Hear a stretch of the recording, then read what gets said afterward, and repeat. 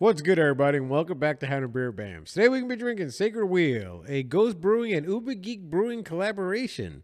All right, this is coming in at about 9.5%, and let's crack this son bitch open. All right, here we go. Let's see. Ooh, that was a good crack. I like that. That was actually a really good crack. Hell yeah. I really do like this label. Uh, this is a sangria. Hang on a second. Let me, I gotta read. I I know it's uh, sangria inspired. It is a sangria inspired saison ale. All right. Well,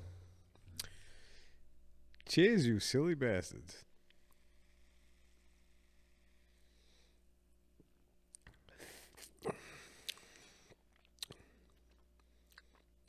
That is really good. It smells super fruity. It actually smells like fruit punch. Damn, that is really good. Hell yeah. Dude, you guys killed this. I dude, seriously, get this.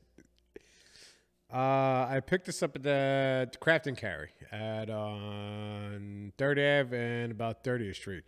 If you can find this anywhere, I'm telling you, pick this up. This is actually really, really good. This might make it. This, you know what? This will make it onto a summer beer list.